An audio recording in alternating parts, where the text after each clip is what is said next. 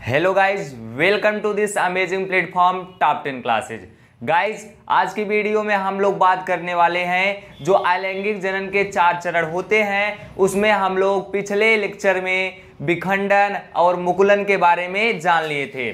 Guys आज जो हम लोगों का तीसरा टॉपिक है, वह है बीजाणु द्वारा जनन। आइए हम लोग उसके बारे में जानते हैं। तो गाइज़ जो हम लोगों का तीसरा टॉपिक है वह बीजाणु द्वारा जनन। बीजाणु द्वारा जनन।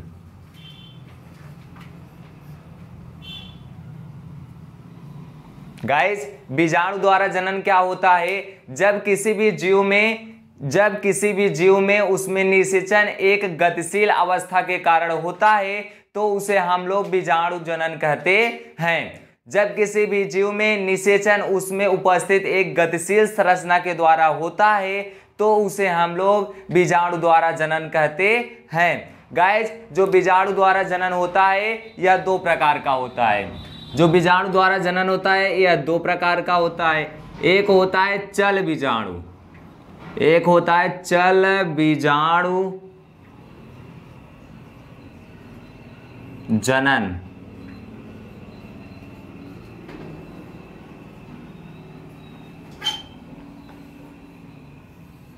गाइस चल बीजाणु जनन क्या होता है? जीवों में वह निषेचन, जिसमें उनमें निषेचन एक गतिशील संरचना के द्वारा होता है। तो उसे हम लोग चल बीजाणु जनन कहते हैं।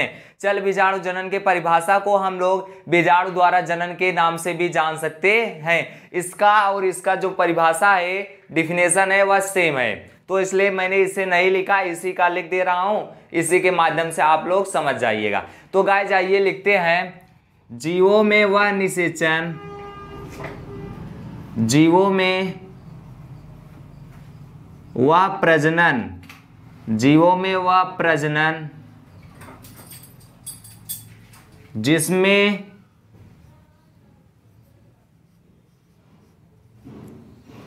निषेचन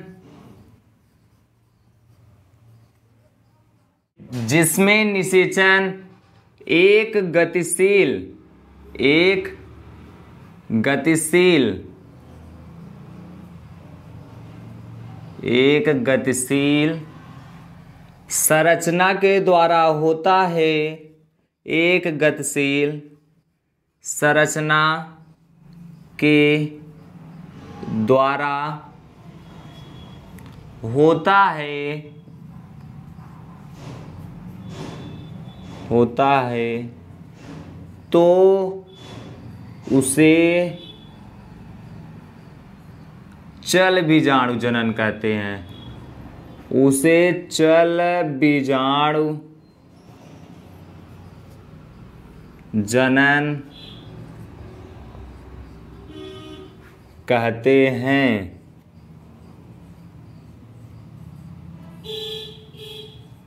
उसे चल बीजाणु जनन कहते हैं। गाइस यह होगा बीजाणुओं द्वारा जनन। जीवों में वह प्रजनन जिसमें उसमें निषेचन एक गतिशील संरचना के द्वारा होता है तो उसे हम लोग चल बीजाणु जनन कहते हैं। और गाइस यह जो माध्यम होता है, यह जल में होता है। इसमें जली माध्यम होता है। इसमें माध्यम जलीय होता है। इसमें माध्यम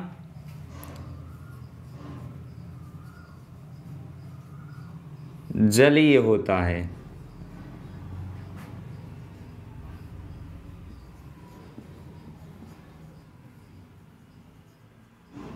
गाइज़ इसका एग्ज़ाम्पल होगा chlamydomonas chlamydomonas chlamydomonas guys यह हो गया एक इसका एग्ज़ाम्पल अब आइए हम लोग इसे चित्र के माध्यम से समझते हैं। गाइज़ जहाँ पर एक मादा क्लोमाइडोमिना मोनास का चित्र है, जो परिपक्व हो गई है। इसके पश्चात इसमें छोटे छोटे क्लोमाइडोमिना मोनास उपस्थित हैं।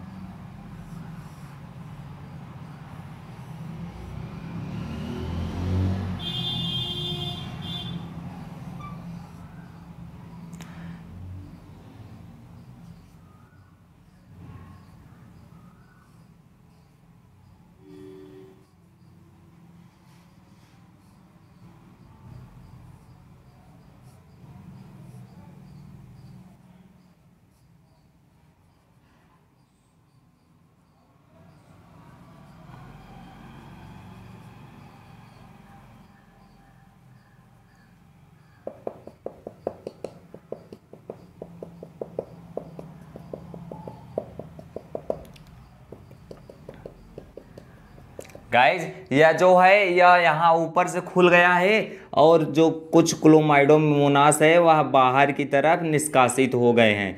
अब ये बाहर जाएँगे, जल में माध्यम के द्वारा, माध्यम जल के द्वारा निषेचन की क्रिया को पूर्ण करेंगे। गाइज़ यह हो गया इसका क्लोमाइडोमिनास का चित्र।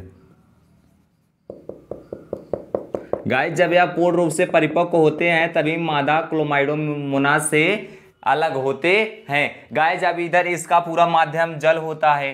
तो गाय ये जल में इधर उधर तैर कर जाकर निषेचन की क्रिया को पूर्ण करते हैं। गाय जो इनमें निषेचन का माध्यम होता है, वह बाय माध्यम में होता है। जो इसमें निषेचन का माध्यम होता है, बाय माध्यम में होता है। इसमें जो नर युग्मक व मादा युग्मक होते हैं, वह बाय माध्यम में होते हैं। जब ये जल में जाएँगे तो उस युग्मक को पाकर निषेचन की क्रिया को पूर्ण करेंगे। तो गाय यह होगा क्लोमाइडोमोनास। चल बीजाणु जनन। अब दूसरा इसमें आता है बीजाणु द्वारा जनन में अचल बीजाणु जनन। आइए हम लोग उसे भी समझते हैं।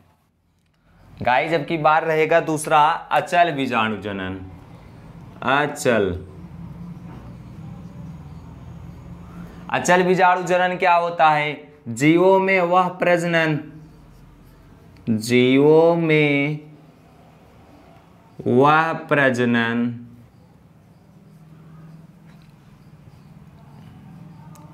जिसमें निषेचन, गतिशील न होकर स्थिर अवस्था में होता है। गतिशील न होकर, गतिशील न होकर स्थिर अवस्था में होता है। स्थिर अवस्था में होता है। स्थिर अवस्था में होता है। होता है। यह प्रक्रिया जलीय जीवों में होता है। यह प्रक्रिया जलीय जीवों में होता है। जलीय जीवों में होता है।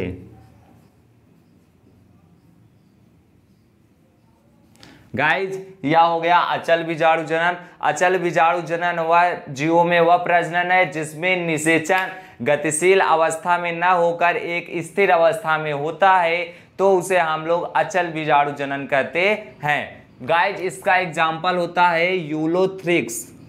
इसका एग्ज़ाम्पल यूलोथ्रिक्स यूलोथ्रिक्स।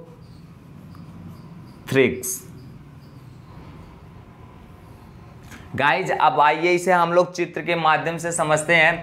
गाय जैसे यह भी जल में ही होता है तो यह पूरा जल हो गया ऊपर की तरफ़। ऊपर की तरफ़ पूरा जल हो गया। और क्योंकि यह अचल है तो मतलब यह ज़मीन पर स्थित होगा। भले यह जल में होगा, यह ज़मीन पर स्थित होगा। और जो क्लोमाइडोमोनास होता है, वह जल में ही स्थित होता है। मान लीजिए, यह इसमें ज़मीन हो गया। तो अब इसमें ज़मीन हो गया तो इसमें आइए हम लोग इसका चित्र बनाते हैं। उसका चित्र कुछ इस प्रकार से होता है।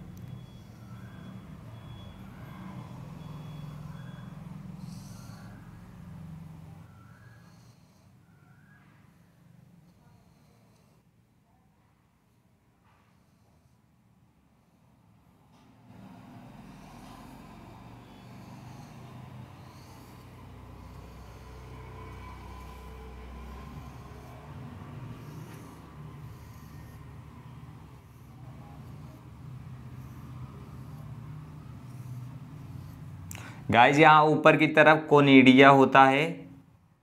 इस प्रकार की संरचनाएँ इसमें पाई जाती हैं। यही निषेचन का कारण बनती हैं। इन्हीं के द्वारा ही निषेचन होता है।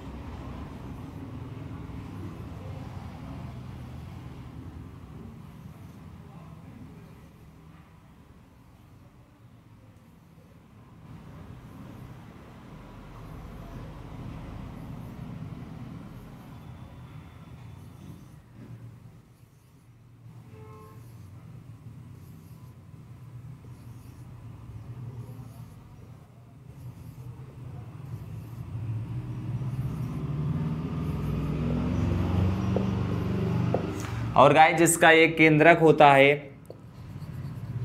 केंद्रक है ये। यहाँ पर गाइज़ एक यूलोथ्रिक्स से इतने सारे यूलोथ्रिक्स का निर्माण होता है। धीरे धीरे विभाजित होकर भी ढेर सारे नए यूलोथ्रिक्स का निर्माण करते हैं। गाय जिसे हम लोग बोलते हैं केंद्रक। और यह है कोनिडिया। कोनिडिया। और इसमें ये सब कोच का द्रव्य भरे रहते हैं।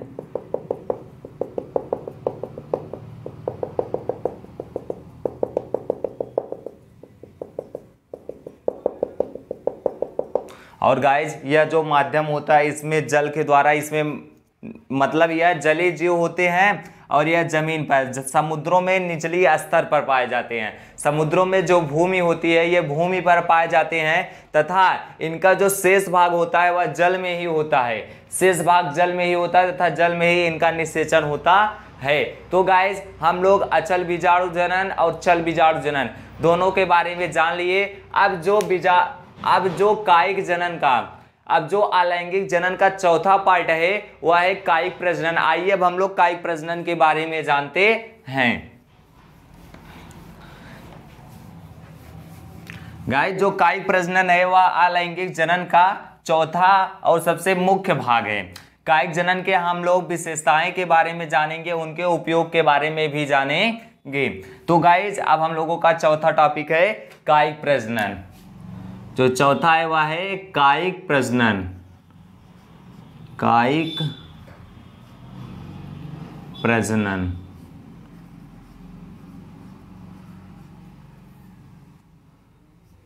गाइस कायिक प्रजनन क्या होता है? कायिक प्रजनन किसी भी पेड़ पौधे के, किसी भी पेड़ पौधे या वनस्पति के जड़, तना, पत्तियों के द्वारा अगर नए जीव का निर्माण होता है तो उसमें होने वाले जनन की क्रिया को कायिक प्रजनन कहते हैं। गाइज़ एक बार फिर से, किसी भी पेड़ पौधे या वनस्पति में उनके जड़, तना और जड़, तना और पत्तियों के द्वारा होने वाले निषेचन से नए जीव का निर्माण होता है तो उनमें होने वाली निषेचन की इस घटना को कायिक प्रजनन कहते हैं। गाय जाइए लिखते हैं। जब पादपों में गाय यह घटना पादप में ही होगा। जब पादपों में उसके जड़, तना जड़, तना और पत्तियों के द्वारा, जड़, तना और पत्तियों के द्वारा और पत्तियों के द्वारा नए पादप का निर्माण होता है। नए पादप का निर्माण होता है। नए पादप का निर्माण होता है। तो उसे हम लोग कायिक प्रजनन कहते हैं। गाइस कायिक प्रजनन का यह हो गया परिभाषा। जब पादपों में उसके जड़ तना और पत्तियों के द्वारा नए पादप का निर्माण होता है तो उसे हम लोग कायिक प्रजनन कहते हैं। अब गाइस ये जो कायिक प्रजनन है, यह तीन प्रकार का होता है। पहला हम लोग जानेंगे जड़ों के द्वारा। जड़ों के द्वारा। गाइस जड़ों के द्वारा कायिक प्रजनन क्या होता है? जब किसी भी पादप में उसमें नए जीव का निर्माण जड़ के द्वारा होता है। जब जड़ को उचित परिस्थिति में लाते हैं तो स्वयं वह एक नए पादप का निर्माण करता है। तो उसे हम लोग कायिक प्रजनन में जड़ों के द्वारा जनन कहते हैं। गाय जाइए लिखते हैं। जब किसी पादप में जब किसी पादप के जड़ को उचित माध्यम में, उचित माध्यम में ले आते हैं, उचित माध्यम में ले आते हैं। उचित माध्यम में ले आते हैं तो वे स्वयं एक नए पादप का निर्माण करते हैं। स्वयं एक नए पादप का निर्माण करते हैं, निर्माण करते हैं। स्वयं एक नए पादप का निर्माण करते हैं तो उसे जड़ों के द्वारा, जड़ों के द्वारा कायिक प्रजनन कहते हैं। कायिक प्रजनन कहते हैं। गाइस यह हो गया जड़ों के द्वारा कायिक प्रजनन। जब किसी पादप के जड़ को उचित माध्यम में ले आते हैं तो वे स्वयं एक नए पादप का निर्माण करते हैं। तो तो उसे जड़ों के द्वारा कायिक प्रजनन कहते हैं। गाइस, यह दो प्रकार का होता है। जो जड़ों के द्वारा कायिक प्रजनन होता है, यह दो प्रकार का होता है। एक होता है मुसला जड़ के द्वारा और एक होता है अपस्थानिक जड़ के द्वारा। गाय जो मुसला जड़ के द्वारा होता है, इसका एक भाग होता है मुसला जड़ों के द्वारा। मुसला जड़ों के द्वारा, मुसला जड़ों के द्वारा, इसका एग्ज़ाम्पल हो जाएगा, मुसला जड़ों के द्वारा इसका एग्ज़ाम्पल हो जाएगा। मुसला जड़ों के द्वारा जो एग्ज़ाम्पल होता है, चमेली सतावर डहेलिया। चमेली, सतावर, डहेलिया। गाय जी यदि अगर हम लोग इनके जड़ों को उचित माध्यम में लेकर जाते हैं तथा उसकी रोपाई करते हैं तो ये स्वयं एक नए पादप का निर्माण करेंगे। क्या क्या है? चमेली, सतावर, डहेलिया। इनके द्वारा स्वयं एक नए पादप का निर्माण होगा। और गाय जो इसका दूसरा होता है, वह होता है अपस्थानिक जड़। अब आप लोग जानते होंगे अपस्थानिक जड़ों में किस प्रकार के पादप आते हैं? अपस्थानिक जड़ों के द्वारा। अपस्थानिक जड़ों के द्वारा। अपस्थानिक जड़ों के द्वारा। तो गाइज़ इसका एग्ज़ाम्पल हो जाएगा। अमरूद आंवला।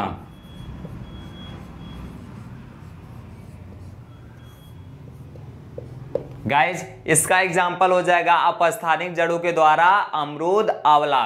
और जो मुसला जड़ों के द्वारा होता है, वह होता है चमेली, सतावर, डहेलिया।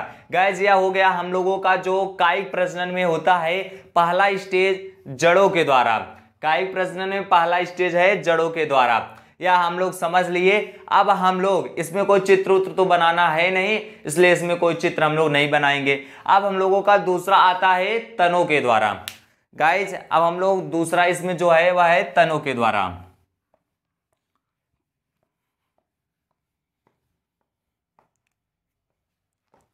गाइज़ हम लोगों का जड़ों के द्वारा हो गया।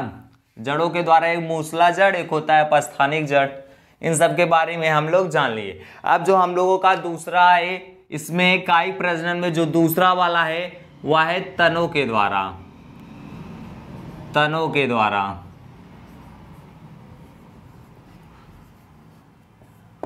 गाइज़ आइए लिखते हैं तनों के द्वारा। जब पादपों में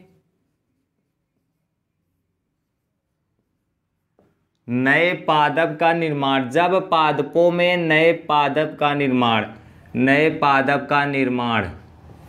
जब पादपों में नए पादप का निर्माण, उसके तनों के द्वारा होता है, उसके तनों के द्वारा होता है, तनों के द्वारा होता है। तो उसे हम लोग तनों के द्वारा कायिक प्रजनन कहते हैं। गाइज़ इसके भी दो प्रकार होते हैं। एक होता है वायवीय तना वायवीय तना वायवीय तना गाइज़ यहाँ पर हम लोग तनों के द्वारा कायिक प्रजनन को पढ़ लिए हैं। अब इसके दो पार्ट होते हैं। एक होता है वायवी तना एक होता है भूमिगत तना तो आइए हम लोग वायवी तना के बारे में समझते हैं।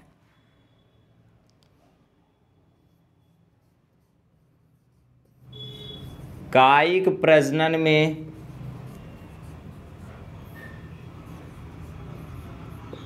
वे पादप जिसमें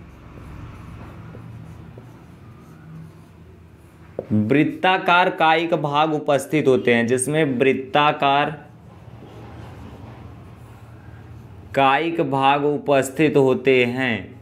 वृत्ताकार कायिक भाग उपस्थित होते हैं।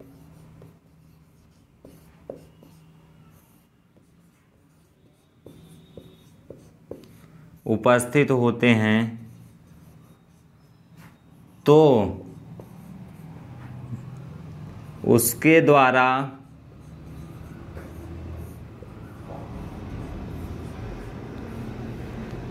नए पादप का निर्माण होता है। नए पादप का निर्माण होता है।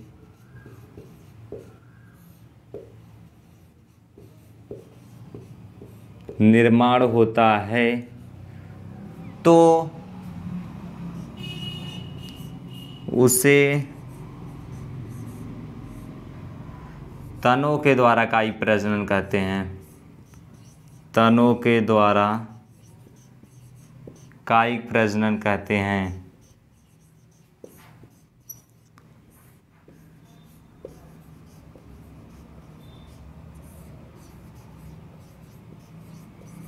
तनों के द्वारा कायिक प्रजनन कहते हैं। गाइज़ यह हो गया तनों के द्वारा कायिक प्रजनन में पहला आता है वायवी तना और दूसरा आता है अपस्थानिक तना। तो पहला आता है वायवी तना, दूसरा आता है भूमिगत तना। तो वायवी तना के बारे में हम लोग जान लिए। अब आइए इसके एग्ज़ाम्पल के बारे में जानते हैं। तो गाय जो वायवी तना होता है, इसका एग्ज़ाम्पल हो जाएगा गुलाब गुड़हल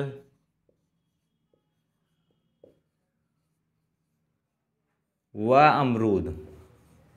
गाइज़ इसमें हम लोग कायिक प्रजनन को अपना कर, इसके तने को काट कर, उचित माध्यम में अगर बुआई करते हैं तो ये स्वयं एक नए पादप का निर्माण करते हैं। और गाइज़ इसमें गन्ना भी आता है, गन्ना। गन्ना। गन्ना भी इसमें आता है। क्योंकि गन्ने को काट कर मान लीजिए जैसे यह गन्ना है यह गन्ना है। यहाँ पे इसके गोलाकार काई भाग उपस्थित हैं तथा यहाँ पर ये कई फलकों में स्थित होता है तथा यहीं पर कलिका पाई जाती है। छोटे छोटे ऐसे कलिका पाई जाती हैं। तो जब इसकी हम लोग बुआई करेंगे तो जब मान लीजिए या ऐसे है, इसकी बुआई कर दिए तो यह मिट्टी के अंदर आ जाएगा। यह मिट्टी के अंदर आ जाएगा। मिट्टी के अंदर आने के पश्चात यह जो कलिका है, यह धीरे धीरे एक नए पादप का निर्माण ऐसे ऐसे करने लगेगा। यहाँ यहाँ से और यहाँ पीछे की तरफ़ से इसमें धीरे धीरे ऐसे जड़ निकलते रहेंगे, निकलने लगेंगे। तो इसके द्वारा स्वयं एक नए पादप का निर्माण हो जाएगा। गाय जिसको हम लोग समझ लिए, वायवी तना, अब इसमें आता है दूसरा भूमिगत तना। तो आइए हम लोग भूमिगत तना के बारे में भी समझते हैं। गाय जब इसमें दूसरा हो गया, भूमिगत तना। भूमिगत तना जब पादपों में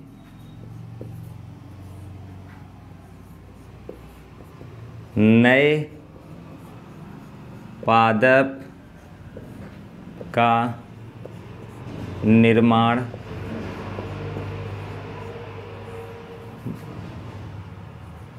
भूमिगत तनों के द्वारा। भूमिगत तनों के द्वारा होता है। होता है। तो उसे तो उसे भूमिगत तनों के द्वारा भूमिगत तनों के द्वारा कायिक प्रजनन कहते हैं। कायिक प्रजनन कहते हैं। कायिक प्रजनन कहते हैं। गाइस यह हो गया भूमिगत तनों के द्वारा इसका एग्ज़ाम्पल जब पादपों में नए पादप का निर्माण भूमिगत तनों के द्वारा होता है तो उसे हम लोग भूमिगत तनों के द्वारा कायिक प्रजनन कहते हैं. गाय जिसका एग्ज़ाम्पल हो जाएगा हल्दी, अदरक, जितने भी भूमिगत तने आते हैं सब. आलू, हल्दी, अदरक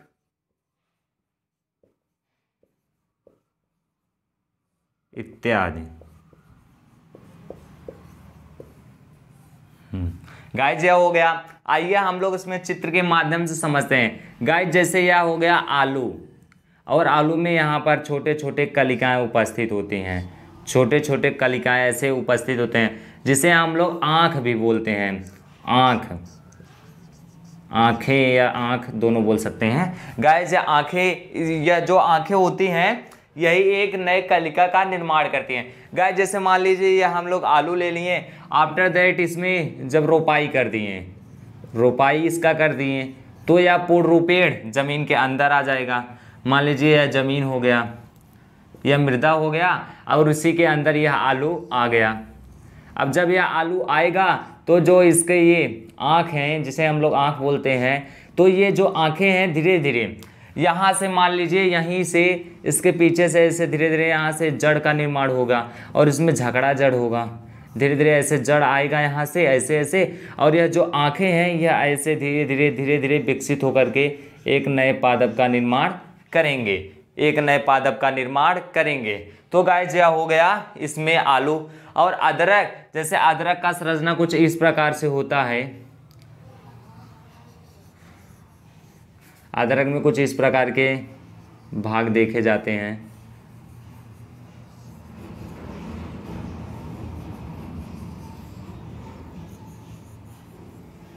तथा इसमें इस प्रकार की कुछ संरचनाएँ होती हैं टेढ़ी मेढ़ी ऐसे ऐसे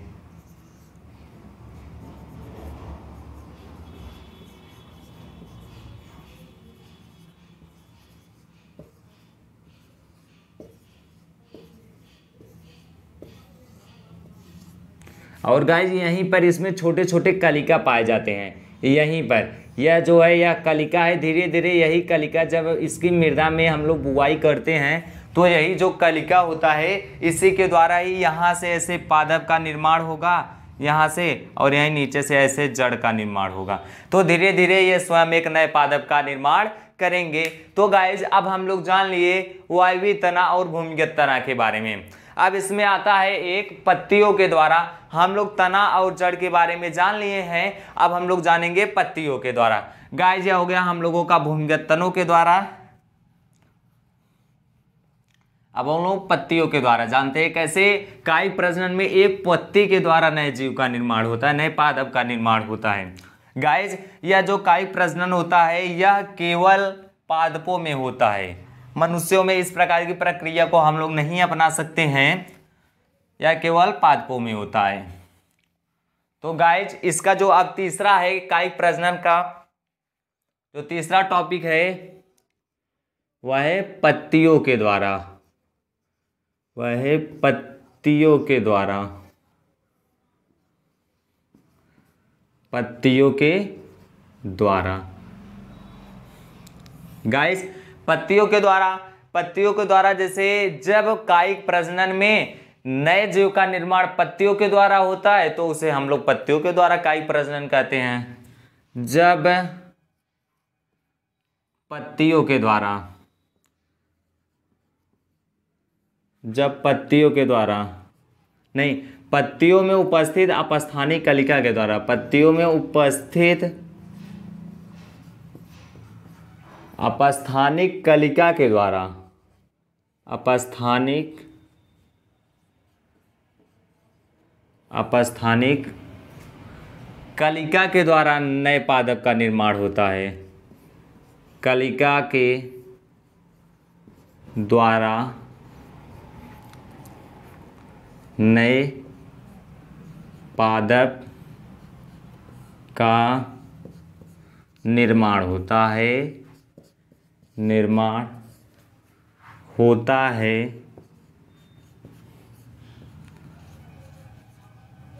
तो उसे तो उसे पत्तियों के द्वारा कायिक प्रजनन कहते हैं। तो उसे पत्तियों के द्वारा कायिक प्रजनन कहते हैं। कायिक प्रजनन कहते हैं। कायिक प्रजनन कहते हैं। गाइस इसका एग्ज़ाम्पल हो जाएगा। इसका एग्ज़ाम्पल हो जाएगा ब्रायो फ़िल्म की पत्ती। ब्रायो फ़िल्म की पत्ती। ब्रायो फ़िल्म की पत्ती। गाइस यह हम लोग जान लिए पत्तियों के द्वारा।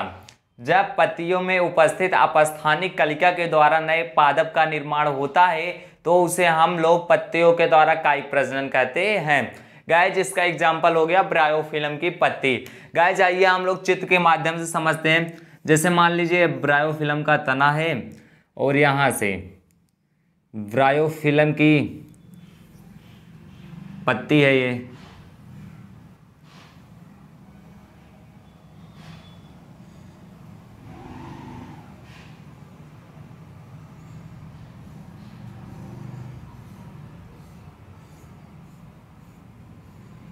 यह गाइस बरायो फ़िल्म की पत्ती का एक प्रारूप है।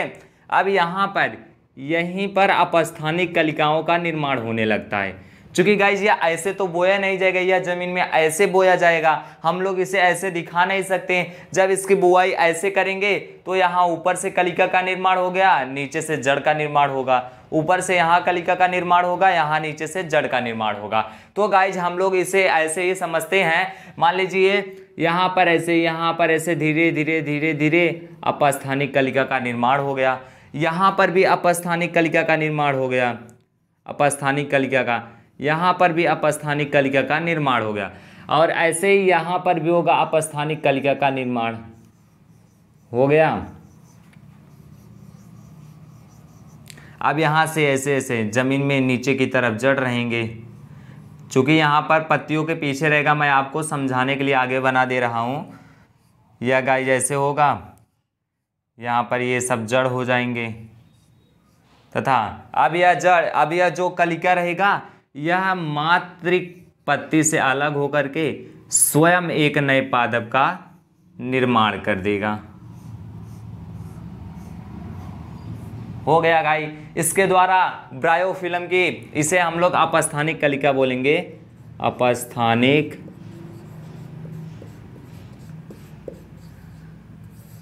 कलिका।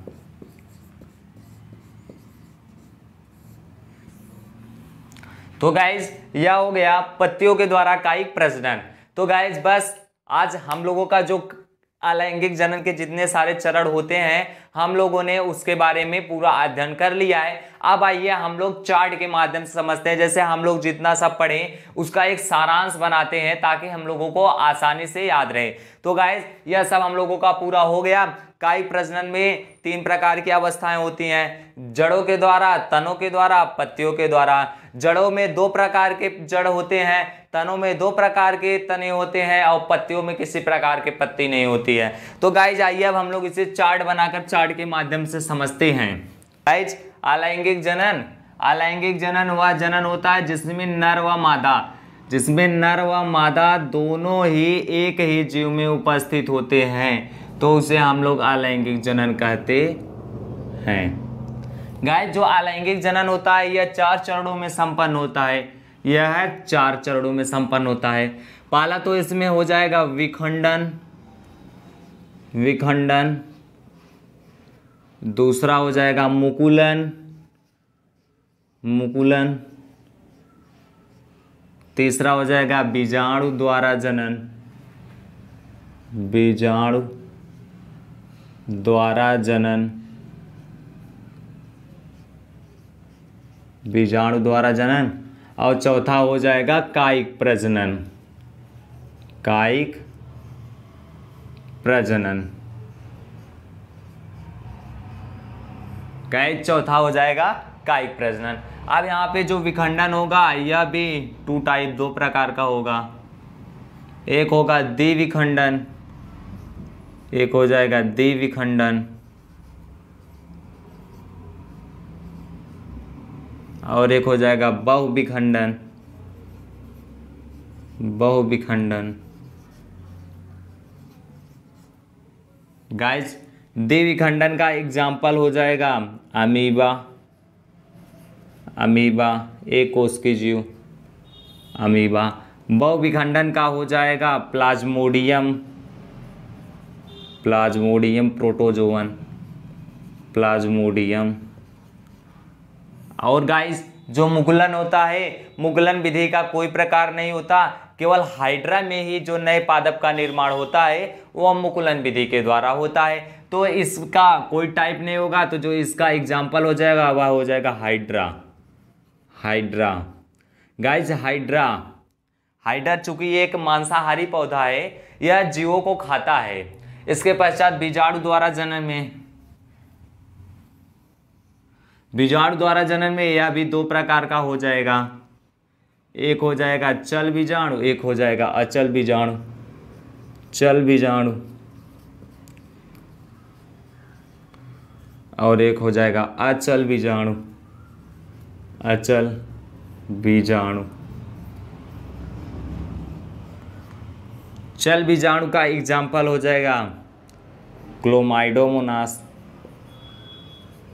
क्लोमाइडो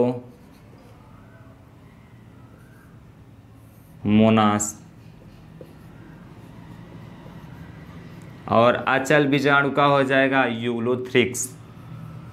यूलोथ्रिक्स।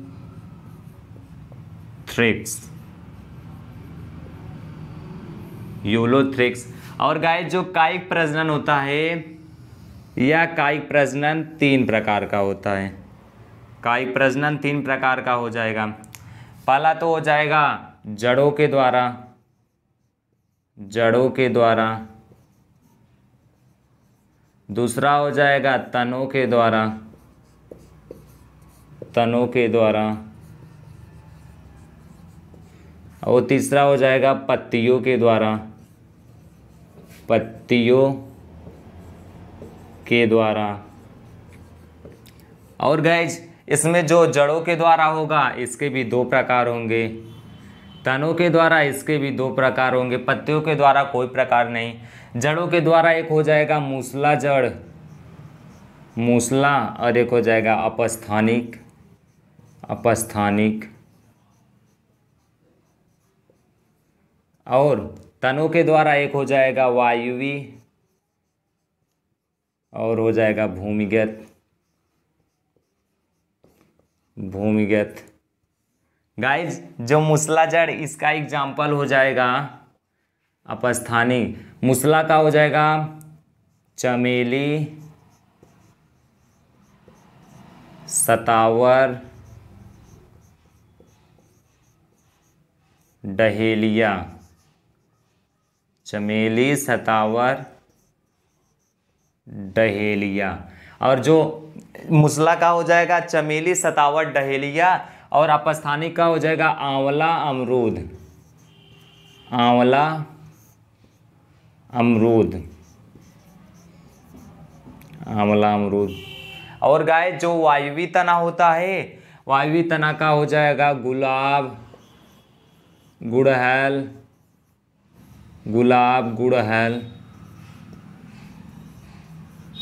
और गन्ना। और भूमिगत तना का हो जाएगा। हल्दी, अदरक, आलू, प्याज। गाइस यह हो गया हम लोगों का पूरा एग्ज़ाम्पल यह जो अलैंगिक जनन होता है, यह चार प्रकार की प्रक्रियाओं में संपन्न होता है। पहला विखंडन, दूसरा मुकुलन, तीसरा बीजाणु द्वारा जनन, चौथा कायिक प्रजनन। विखंडन दो प्रकार का, द्विविखंडन, बहुविखंडन। और जो मुकुलन हो गया, इसका नो टाइप और दो विखंडन का, एक कोष के जीव अमीबा, इसका एग्ज़ाम्पल हो जाएगा। बहुविखंडन का हो जाएगा प्लाज्मोडियम कवक, और बीजाणु द्वारा जनन में दो पार्ट हो जाएँगे, चल बीजाणु, अचल बीजाणु। चल बीजाणु का एग्ज़ाम्पल क्लोमाइडोमोनास अचल बीजाणु का एग्ज़ाम्पल यूलोथ्रिक्स फिर इसके पश्चात काई प्रजन काई प्रजन के तीन टाइप होंगे। पहला, जड़ों के द्वारा, दूसरा, तनों के द्वारा, तीसरा, पत्तियों के द्वारा। जड़ों के द्वारा में जड़ दो प्रकार के इसमें हो जाएँगे। एक हो जाएगा मूसला जड़, एक हो जाएगा अपस्थानिक जड़। मूसला जड़ में आ जाएगा चमे, चमेली, सतावट, डहेलिया और अपस्थानिक जड़ में आ जाएगा आंवला, अमरूद। और जो तनों के द्वारा होगा, वायवी तना, भूमिगत तना। वायवी तना में आ जाएगा गुलाब, गुड़हल, ये सब आ जाएँगे इसमें। और जो भूमिगत तना होगा, हल्दी, अदरक, प्याज, आलू, ये सब इसमें आ जाएँगे। और पत्तियों के द्वारा गाइस पत्तियों के द्वारा इसमें हो जाएगा ब्रायोफिलम ब्रायोफिलम इसका एग्ज़ाम्पल हो जाएगा ब्रायोफिलम गाइज़ यह हो गया पत्तियों के द्वारा, और यह इतना हो गया तनों के द्वारा, और इतना हो गया जड़ों के द्वारा। तो गाइज़ आज का वीडियो बस यहीं तक। आई होप अगर वीडियो आपको अच्छा लगा और अगर वीडियो में कोई भी डाउट हो तो आप लोग कमेंट करके उस डाउट को पूछ लिया करें। आपके द्वारा कमेंट किया हुआ डाउट हम लोग उसे पढ़कर उसका आपको संतुष्ट आंसर देंगे। फिर गाइज़ मिलते हैं आपसे नेक्स्ट वीडियो में। अगर आपको वीडियो अच्छा लगा हो तो वीडियो को लाइक कर दीजिए। चैनल पर पहली बार आई हो तो चैनल को सब्सक्राइब कर दीजिए। मिलते हैं आपसे नेक्स्ट वीडियो में। तब तक के लिए जय हिंद, जय भारत।